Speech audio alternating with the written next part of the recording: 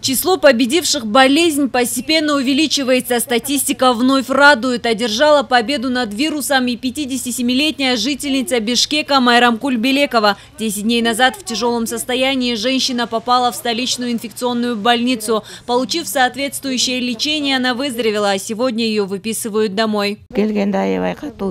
Я поступила в очень тяжелом состоянии. Аппетита нет, головокружение. В общем, за эти несколько недель я так настрадалась. Огромное спасибо медикам, которые смогли улучшить мое состояние.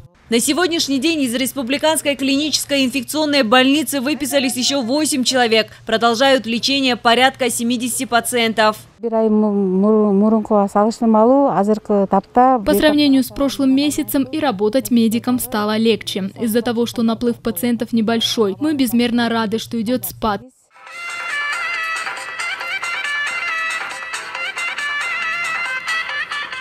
Вот в такой вот веселой обстановке с зажигательными танцами и песней проводили выздоровевшую пациентку, которой ровно 11 дней назад было явно не до танцев. Айнура Апиева поступила в Волжскую городскую клиническую больницу в тяжелом состоянии. Сегодня же она танцует с врачами и на такой позитивной ноте выписалась из амбулатории. Кроме того, из Ожской городской клинической больницы сегодня выписаны три пациента с ранее подтвержденным коронавирусом.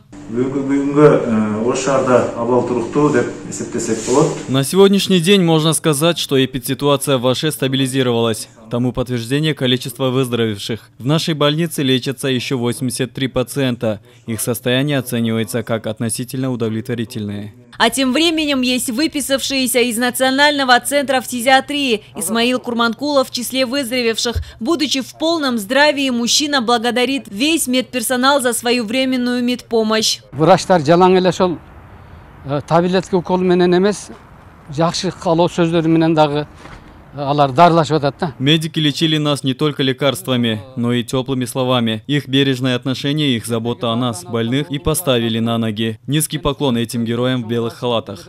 Загруженность стационаров снизилась, а некоторые из них и вовсе закрываются. Так, самого последнего пациента с коронавирусом выписали и в Джетугусском районе Сыкульской области. Сейчас там проводят дезинфекцию помещения. Райадминистрация сообщила, что эпидситуация в районе улучшилась, в чем большая заслуга медиков. Джазгуль Бакытбек, Ильдяра Самбаев, Фалато, 24.